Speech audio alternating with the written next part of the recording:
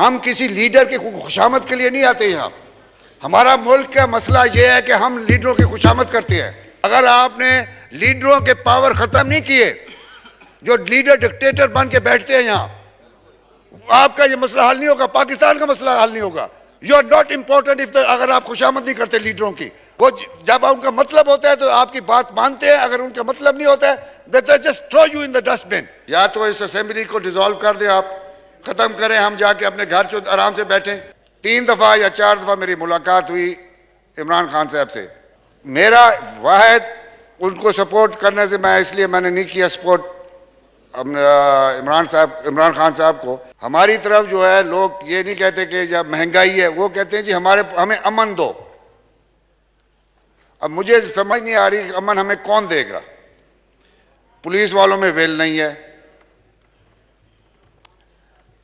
हुकूमत का इंटरेस्ट नहीं है क्योंकि हमारा इलाका ऐसा है, जहाँ उनको कोई इंटरेस्ट नहीं है। किसी पार्टी को कोई इंटरेस्ट नहीं है। मैं पीटीआई के टिकट से कॉन्टेस्ट करके आया।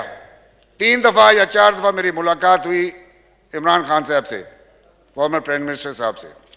उनसे भी यही बात होती रहेगी और एक ही एक ही एक एजेंडा होता था मेरा लॉ एंड ऑर्डर का। कभी वो कहते थे, मैं जनरल फैज को कह रहा हूँ, कभी कहते थे, मैं उसको कह रहा हूँ, कभी कहते थे, मैं उसको कह रहा हूँ, लेकिन उसका कुछ भी नहीं हुआ। फिर रजीम चेंज हो गई। शायद हमने पैसे लिए होंगे। हम जो इधर बैठे हैं, शायद हमने पैसे लिए होंगे। पता नहीं पीपल्स पार्टी वालों ने दिए हैं, पता नहीं हमें नवाज़ लीग वालों ने दिए हैं, पता नहीं मौलाना फजल रहमान साहब ने दिए हैं। वो पैसे हैं किधर? या अमेरिका ने दिए अगर किसी के पास सबूत है तो हमें बताएँ। वो पैसे तो जाके लें। चलो जी, वही पैसे हम ये तुर्की में भी दे सकते हैं, शाम में भी दे सकते हैं। हमें तो अभी तक नहीं मिले। वहाँ नहीं दे देते ईदी वालों को दे देंगे। हमारा, मेरा वाहिद उनको सपोर्ट करने से मैं इसलिए मैंने नहीं किया सपोर्ट इमरान साहब, इमरान खान साहब को। मेरा यही था कि लॉ एंड ऑर्डर की वजह से। फ्रॉम द डे वन अभी भी वही पोजीशन है। लोग वहाँ से हर रोज हमको फ़ोन भेजते, मेरे पर मेरे व्हाट्सएप पे मैं देखे, उसमें भरा हुआ है। किसी का बच्चा उठा लिया है किसी के घर पे, महीना महीना, बीस दिन पहले, एक गरीब आदमी एक घर पे जाके रॉकेट लॉन्च में हमला किया, पाँच, छह साल का उसका बच्चा मारा गया, उसके बेटी मारी गई, और पंद्रह के सोलह आदमी जख्मी हुए। हमने इनको जो अभी गवर्नमेंट आई है, इनको कहा कि हमने रिक्वेस्ट की, जी, हमको लाइसेंस दो। लाइसेंस भी नहीं देते। ना हमारे पास असल है, ना लाइसेंस हमको मिलते हैं, ना हमें प्रोटेक्ट करते हैं पुलिस वाले। हम जाएँ तो जाएँ कहाँ? जुल्म हो रहा है, हमारी तरफ़ इलेक्शन का भी बिगल बज गया है, सुनने में आ रहा है। भाई इलेक्शन कौन लड़ेगा वहाँ? आपका पोलिंग स्टेशन कौन बनाएगा वहाँ? वोटर आपके कौन है? कहाँ से वोटर ले होगे वहाँ? पहले तो आप लॉ एंड ऑर्डर का सिचुएशन ठीक करें। हमारे इलाके में हर बंदे के ऊपर, हर जितना कोई जमींदार है, छुप के उनको बत्ते दे रहे हैं। शरीफ आदमी, बताते नहीं हैं। जहाँ तक के वहाँ वहाँ के औरतों की इज़्ज़त महफूज नहीं है। डकेटी होती है, एक आदमी या दो आदमी। वहाँ एक दो आदमी डकेट नहीं आते, दस दस, बीस बीस आदमी आते हैं। अब उसका क्या इलाज है? अयाज सादिक साहब। इंटरेस्ट ही नहीं है जी वजीरों को इंटरेस्ट ही नहीं है। हाउस प्लीज़ जब हम बात करते हैं इंटरेस्ट ही नहीं होता हमारी बात भी नहीं सुनते। सरदार अयाज सादिक साहब। तो या तो इस असेंबली को डिसॉल्व कर दें आप ख़त्म करें हम जाके अपने घर चो आराम से बैठे। अगर ये बात नहीं सुनना चाहते अगर यहाँ अगर ये मिनिस्टर साहबान बात नहीं करना चाहते अगर यहाँ गपशप मारना है इन्होंने तो what is the use of are coming to the assembly Sardar Sahab आप बहुत ठीक बात कर रहे हैं अपने इलाके के मसले की बात कर रहे हैं आप इसको जारी आप ये देख रहे सीरियस कोई सीरियस ही नहीं है कोई सीरियस नहीं है कोई वज़ीर सुनने को तैयार नहीं है क्योंकि उनके इलाके में तो बिल्कुल ठीक ठाक हर मसला ठीक है। उनके पास स्कूल है कॉलेजेस हैं हर चीज़ है। हमारे पास ना स्कूल है ना कॉलेज है ना अमन है कुछ भी नहीं है। अब आपने ये फ्लड का इन्होंने किया है। सबसे पहले मैंने यहाँ अपने इलाके का कहा साउथ पंजाब में सबसे ज़्यादा हिट हुआ तो मेरा तहसील हिट हुआ है। हमारे चौदह आदमी मारे गए, डूब के मरे हैं। एक पैसा भी अभी तक नहीं मिला हमें, एक पैसा भी नहीं मिला। यहाँ अनाउंस होते प्राइम मिनिस्टर ने अनाउंस किया, कई उस मिनिस्टर ने अनाउंस किया सिंध में दिया गया, हर जगह दिया, हमें कुछ भी नहीं मिला। अभी तक हमारे बंदों को कोई एक पैसा नहीं मिला।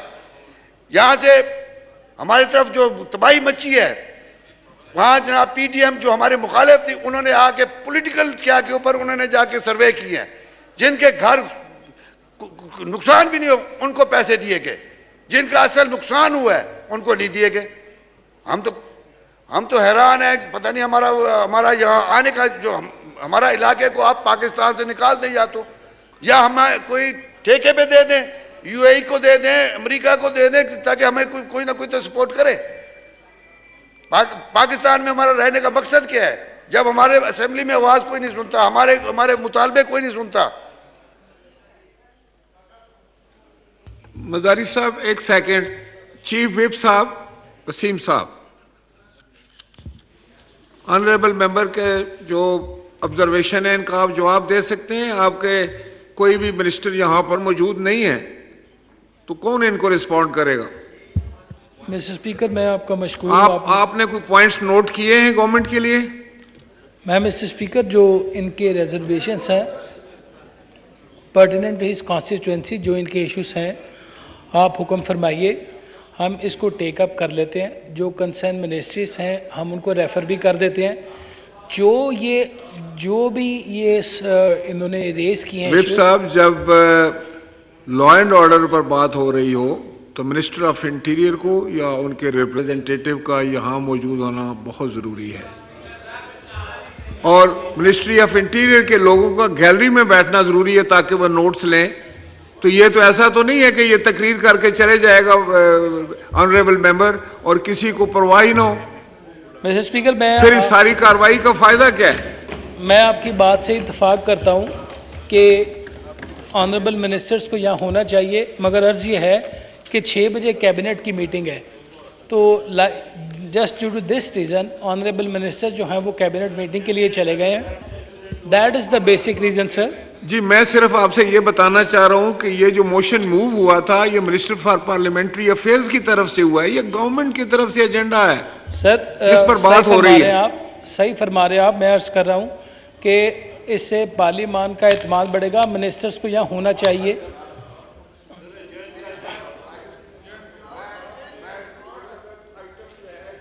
पेन डाउन करके दिए हैं मुझे जो मैंने अनाउंस किए हैं और ये आठों मिनिस्टर्स को यहाँ पर होना ज़रूरी है। बिल्कुल ठीक है फिर आप ये जो मैं ऑनरेबल मेम्बरान से तकरीर करवा रहा हूँ उसका क्या फ़ायदा है? Mister speaker